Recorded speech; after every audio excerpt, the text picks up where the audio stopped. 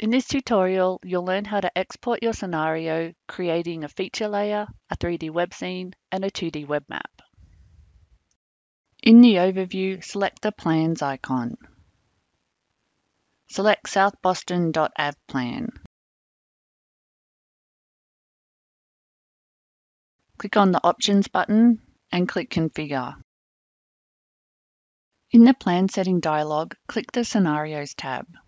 Expand Scenario 2 Proposed Zone Change. Under Design Visualization, you'll see the word None. This is because the plan hasn't been published yet. Once the plan is published, you'll see a link to the exported web scene in this section. Click Cancel to return to the overview. On the plan's detail card, click the Options button and select Edit.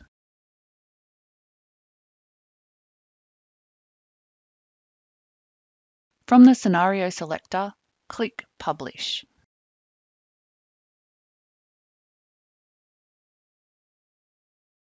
In the Publish Plan dialog, make sure Scenario 1 and Scenario 2 are checked on.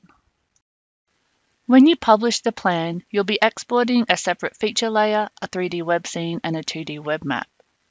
The feature layer flattens the data model, so you'll have information about zoning, space use types, and capacity indicators in the features themselves.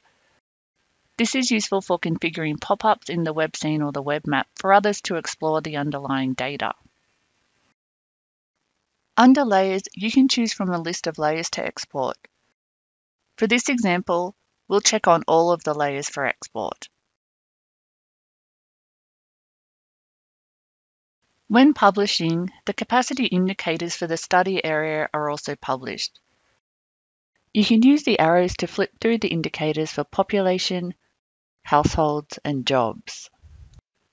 You can also update these values manually here. They'll be shown in the overview when you publish the plan. You can choose to share the plan as a draft, which means it's shared with whoever has access to the plan editor. This can be used for internal collaboration with other planners and designers in your organization. If you share it as public, it will be shared with everyone and can be seen in the public version of Urban. This is useful for constituent engagement and to get feedback from citizens on specific plans and projects. You can also share information with external stakeholders and decision makers.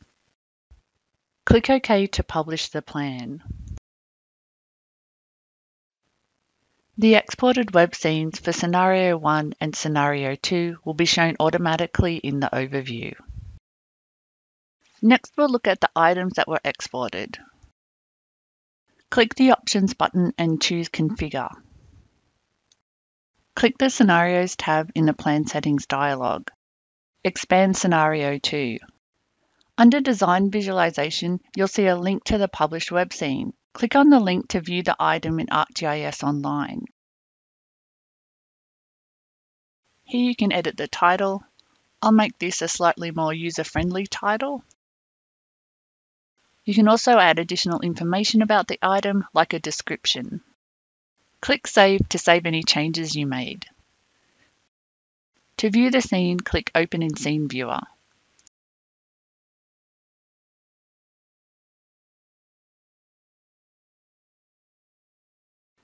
In addition to the web scene, you also get a web map and a feature layer.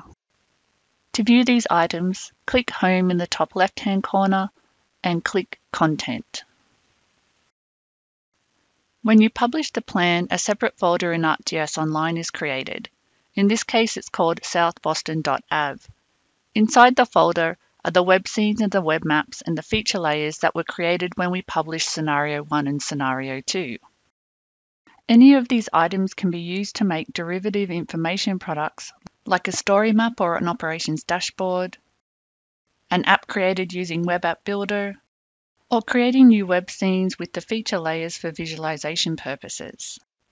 The publishing process allows you to share information with stakeholders or the public and to collaborate with colleagues throughout your organization.